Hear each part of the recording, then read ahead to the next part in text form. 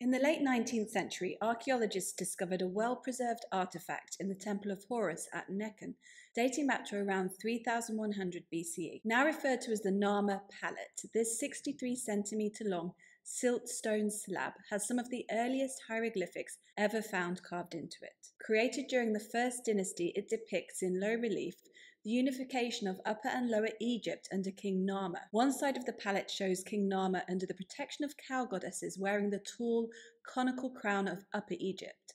The other side shows him wearing the flat, square crown of Lower Egypt with a curly protrusion on its front. The slab is called a palette because there's a circular depression in it for mixing cosmetic pigments. Such palettes probably had a practical use in proto-dynastic times for applying face paints. However, by the time of the First Dynasty, it's thought such palettes mainly served a ceremonial function.